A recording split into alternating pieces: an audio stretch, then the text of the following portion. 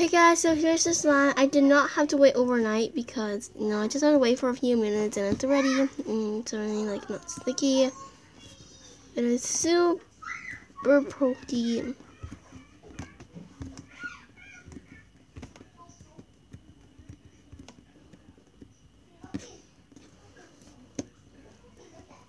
It's it's really nice. I mean, it's not bad or anything, but yeah, it's super nice.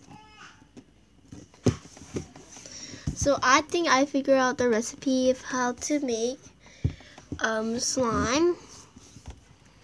Of how they did in Dollar Tree. Of course, if you go to Dollar Tree, you see their slime, not the putties.